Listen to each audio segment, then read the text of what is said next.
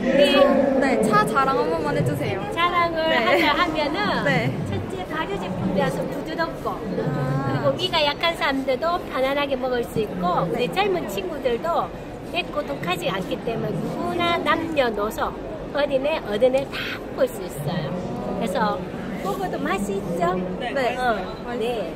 지금 이거는 레몬차예요. 네, 레몬차. 어, 레몬차는 우리 젊은 층들이 좋아하는데 레몬이 70%고 여기는 원당 30% 생즙을 해서 발효 들어갔어요.